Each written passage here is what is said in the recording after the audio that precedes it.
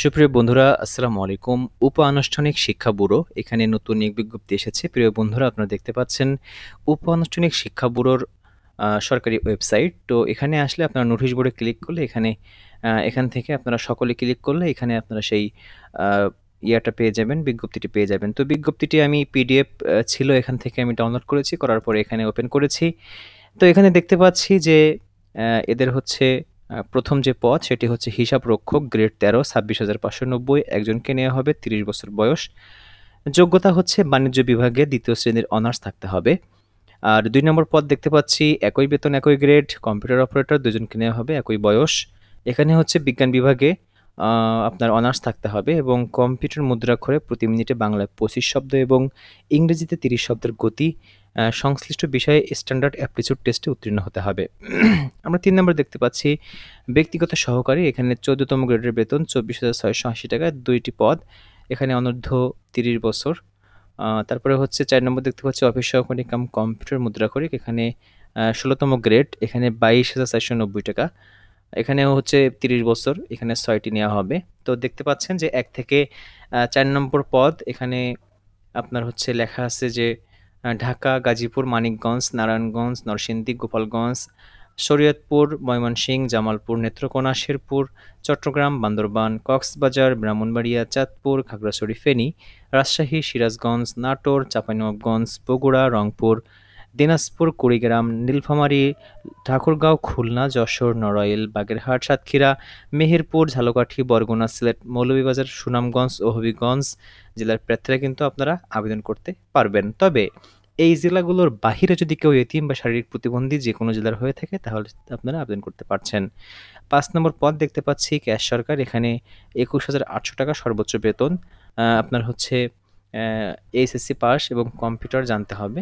তো এখানেও কিন্তু আপনারা ঢাকা, নারায়ণগঞ্জ, নরসিংদী তারপরে হচ্ছে ফরিদপুর, ময়মনসিংহ, নেত্রকোনা, শেরপুর, চট্টগ্রাম, বান্দরবান, কক্সবাজার, ব্রাহ্মণবাড়িয়া, কুমিল্লা, নোয়াখালী, রাজশাহী, জয়পুরহাট, পাবনা, সিরাজগঞ্জ, নওগাঁ, নাটোর, রংপুর, দিনাজপুর, গাইবান্ধা, নীলফামারী, খুলনা, যশোর, মাগুরা নড়াইল সাতক্ষীরা, কুষ্টিয়া, মেহেরপুর, ভোলা পিরোজপুর সিলেট মৌলভীবাজার সুনামগঞ্জ হবিগঞ্জ জেলার প্রার্থীরা আবেদন করতে পারবেন। তবে আমি যে জেলাগুলোর নাম বলেছি, এর বাহিরে অন্যান্য জেলার ভিতরে এতিম শারীরিক প্রতিবন্ধী যদি হয়ে থাকেন, তাহলে আপনারা আবেদন করতে পারছেন।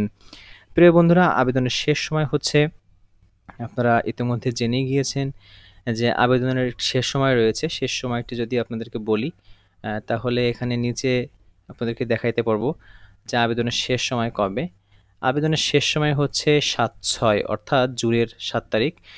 জুনের সাত তারিখ বিকাল পাঁচ ঘটিকা হচ্ছে, আপনার শেষ হয়ে যাবে।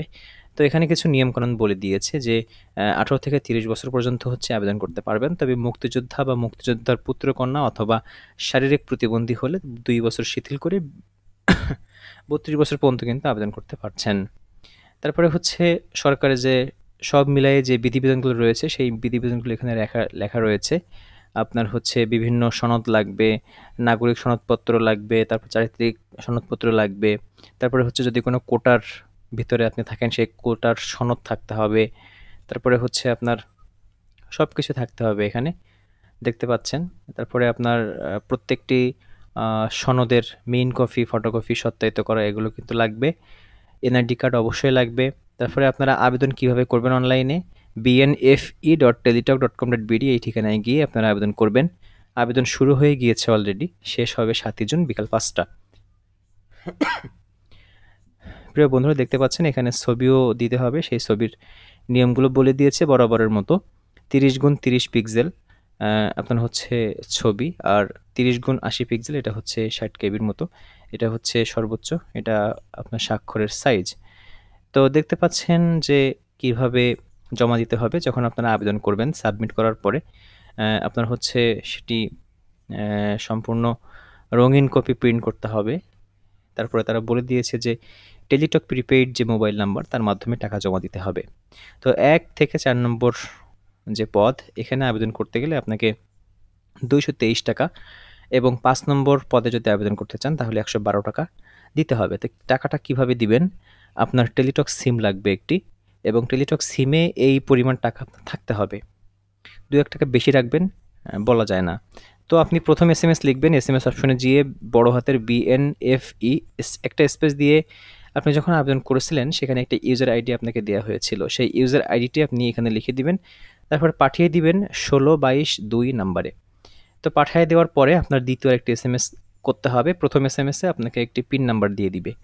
তারপর দ্বিতীয় এস এম এসটা আপনাকে করতে হবে বিএনএফই একটি স্পেস দেবেন, তারপর লিখতে হবে এস তারপরে স্পেস দিয়ে প্রথম এস এম এসের পিনটি আপনি লিখে আপনাকে একই নাম্বারে অর্থাৎ ষোলো বাইশ দুই নাম্বারে পাঠাতে হবে। পাঠানোর পরে আপনার মোবাইল থেকে নির্ধারিত টাকাটি কেটে নিবে এবং আবেদনটি সাকসেসফুল হয়ে যাবে। প্রিয় বন্ধুরা, এই ছিল হচ্ছে এই চাকরির বিস্তারিত। যদি জানার থাকে কোনো বিষয়, জানার চেষ্টা করবেন, আমরা উত্তর দিয়ে দিব আমাদের সাধ্যমতো। নির্ভরযোগ্য চাকরির বিজ্ঞপ্তিগুলো আমরা আমাদের চ্যানেলে দিয়ে থাকি। মাঝে মধ্যে আমরা একটু বিরতি নিয়ে থাকি, কিন্তু আমরা হারিয়ে যাইনি। আমরা আবারও ফিরে এসেছি আপনাদের মাঝে।